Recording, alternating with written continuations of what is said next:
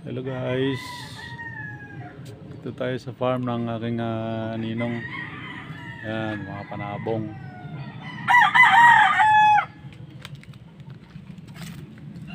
Yan, maraming mga panabong dito.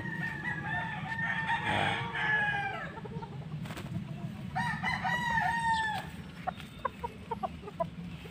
Maraming panabong.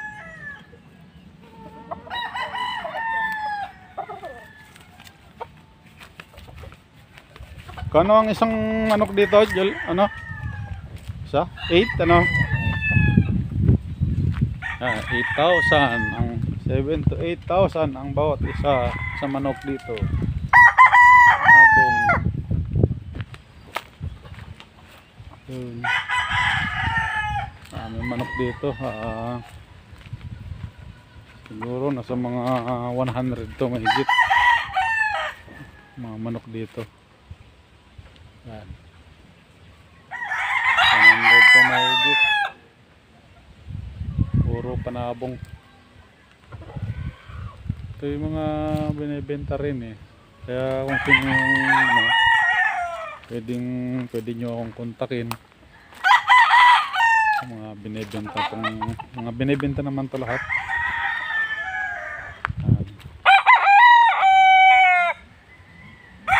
Yan. Mahilig sa manok dyan. Marami ritong mga manok Ah, binibenta rin naman to. Ito yung farm ng aking ah, ninong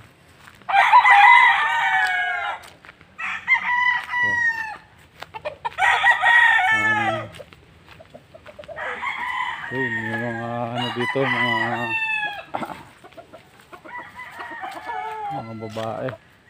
Paitlogin Ayun. Ayun. Paitlogin yan, paitlogin.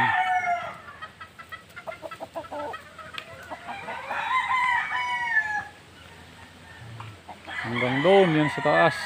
Siguro nasa mga ano to?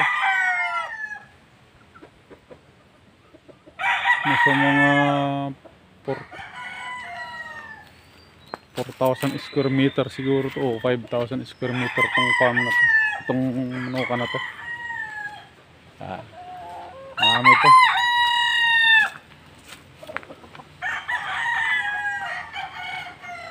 Yung ibang manok dito dito na nabuha dito na kumbaga sa kwan dito na ano ah sib, sibol dito na yun ano. Pero yung una-una, yung mga unang mga pinag ano dito, itlog yan. Itlog siya na galing sa Guam. Tapos dito na siya ano, dito na nila pinapisa. Dito na pinapisa. Ano, gaganda ko yan. Yan.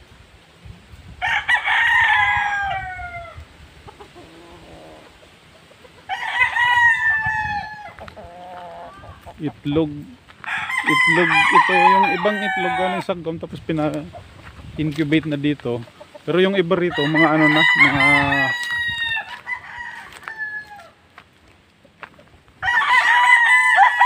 isa na rito mga ano na. Yung dito na sila gusto ko na dito na ano na pinalahi ah, marami yan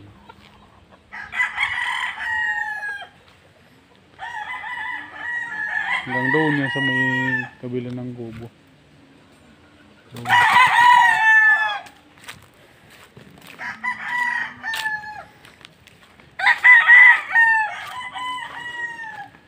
sa mga siguro na sa mga ano to no? 100 plus ano? Sa mga 100 plus to lahat. Pero may mga ano pa rin. Mga sisiw pa rin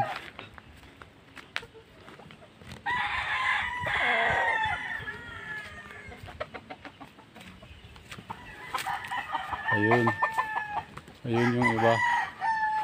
Yan. Hanggang doon yan sa may baba. Tapos dito ang mga sisiw. Yan. Ayan sila mga sisiw. Yan. Mga sisiw yan. Pagka mga sisiw, dito muna nila nilalagay sa loob ng ano na to, net. Marami yan. Yan. Yan, dito muna nilalagay sa net na to. Net to eh. Net. Ito. Net. Net yan. Nilagay muna dyan sa loob pagka mga sisiw pa. Nandiyan sa loob. Tapos pagka mga malalaki na, eh, nilalabas na nila. Yan, nilalabas na yan pagka malalaki na. Yan. Kaya sa mga mahilig sa manok, meron ditong farm na inib- inibenta naman to. Inibenta. Yan. Sa aking ah, ninong. Dati siyang ah, kapitan dito sa Barangay Biloso.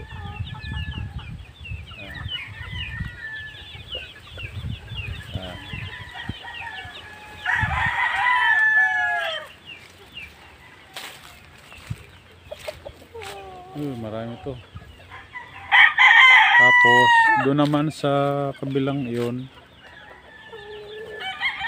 nandun naman yung aking ah, kambingan. Doon sa kabilang, kabilang yon nandun yung aking kambingan. Tapos dito naman, manok. Bali ang area na to, ah, isang ektarya siya. Tapos sa Nagyan lang ako ng lagyan ko ng camping doon na maliit lang.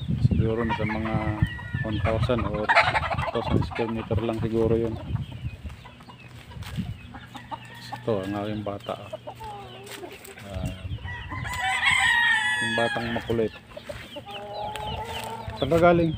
Ha? Kambing. Ang ginawa mo doon? Anong tawag ka? Ah, ano ano mga maliliit na manok. Ayun eh.